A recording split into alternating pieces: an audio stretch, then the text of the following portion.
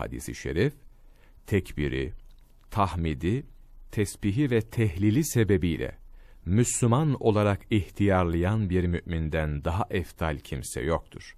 Peki nedir tekbir, tahmid, tesbih, tehlil? Tekbir Allahu Ekber. Zaten başlarken namazlara getirdiğimiz tahmid elhamdülillah diyoruz. Tesbihte subhanallah diyoruz. Tehlil la ilahe illallah demektir.